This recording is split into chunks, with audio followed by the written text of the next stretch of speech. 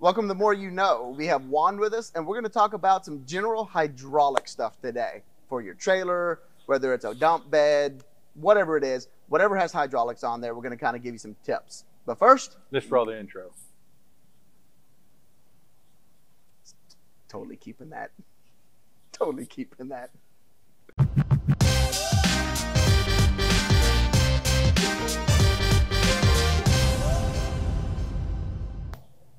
All right, so Juan, tell us a little bit about yourself and what you do here at the Trailer Parts Outlet. All right. Well, my name's Juan. I am the sales manager here for the Trailer Parts Outlet, and I got a great team of five knowledgeable salesmen. Which we've met some of them. Yes. Actually, no, at this point, we've met all of them Jose, Tyler, Sarah, Nicole, and Mariah. True. So that's a great team you have put together. Thank you. And they work well with customers. They know their product knowledge, which is a beautiful thing. And most of all, they help everybody that calls. Yes, sir. So today we're talking about some hydraulics. And first thing we're going to start off with is how can we extend the life of hydraulic systems? Four main things to remember. You want to keep it in, keep it clean, keep it dry, and keep it cool. All right. So let's uh let's dive into those. You said four things, so keep it in. So you want to keep it in as far as it being the most important thing in a hydraulic system. You want to make sure your fluid stays in your system. You don't want no leak. So in and full, not out and empty. Correct. Beautiful. And you said keep cool. Yeah. So you want to be mindful um, that your oil is going to get hot. So you don't want it to overheat. You want to keep it at a fair temperature. Um, if you get it too hot, the particles the uh, if you get it too hot, the particles are going to start to break down. Whole little science behind it, but you don't want that. Yeah. So what's a way that we can keep it cool?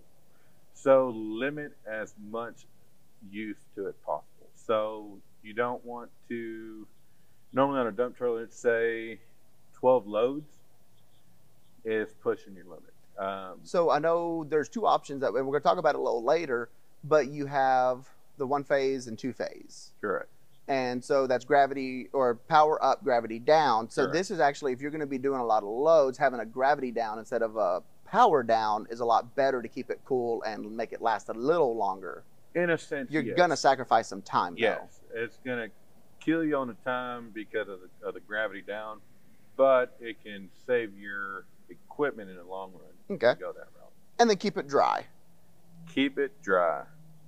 You want to make sure you keep any unnecessary fluids from inside your hydraulic system. Um, water, different oil mixtures, Extra hydraulic fluid that you might have spilled, wipe that up before you Yeah. turn it on. You Correct. know, that's your baby. Anytime, kind of like your vehicle. Anytime you're going to do an oil change or check your oil, add oil. You want to make sure it's clean around the area before you add any fluids to it. Oh yeah, and then of course keep it uh, keep it dry, keep it clean, keep it cool, keep it in. Yeah. So that's a really cool way to remember that. And um, so we're talking about the the length of you know extending the life of it.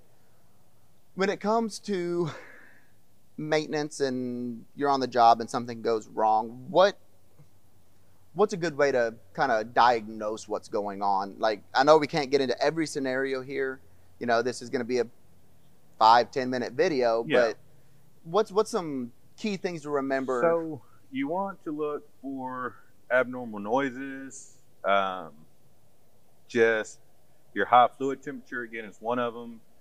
Uh, slow operation. So when you use your system, you should kind of like your car. You, you know when something's wrong.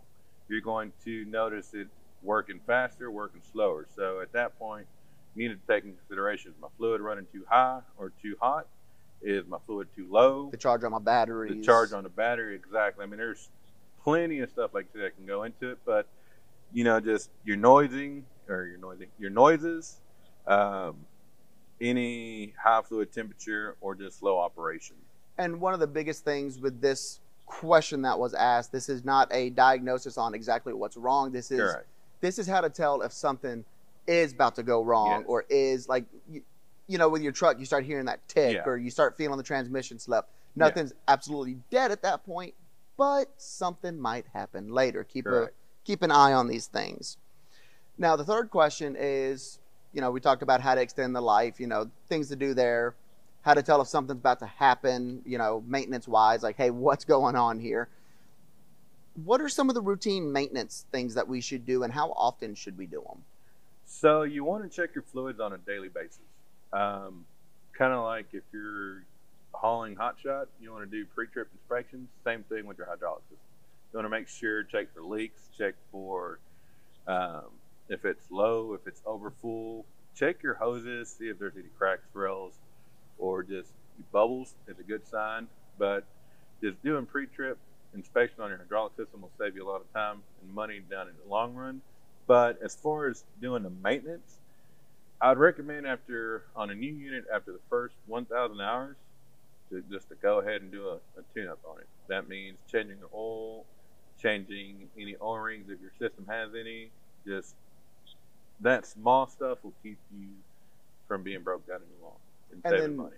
Then also, I know with Nicole when we talked about trailer maintenance. Yeah. You know, hotshot drivers, they check their stuff. Like professional drivers, they check their stuff every single day, if not twice a day when they start up, when they shut Yeah. down. And I'd recommend that doing the same steps with your dump trailers. Would you say it's more important for those that don't use it as often because it sits there and it might get fro- you know freed yes, up that I kind of would thing? Still, if you use it on a daily basis, I'd check it maybe twice, three times a day, just because you're using it a lot.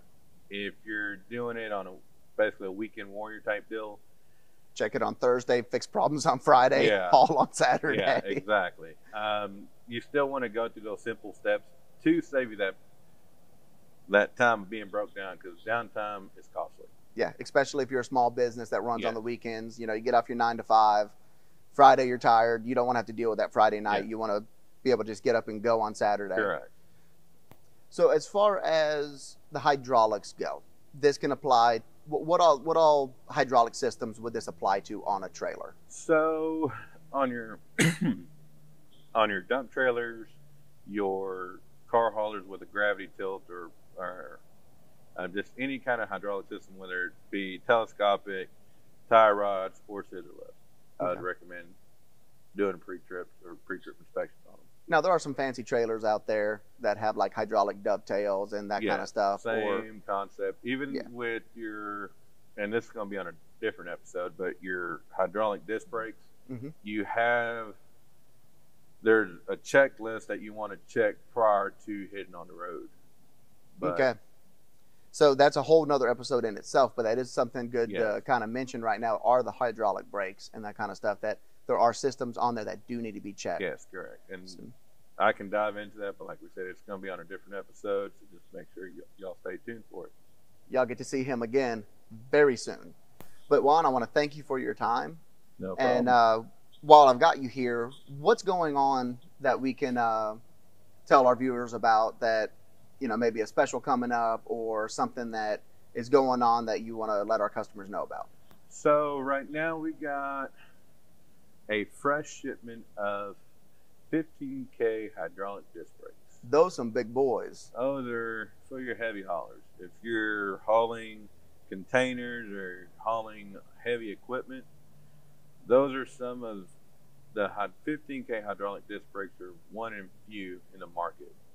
Very so limited. we have a fresh batch of those. Get them while they're good. yes, sir. All right, guys, it's been a pleasure talking to Juan about hydraulics today.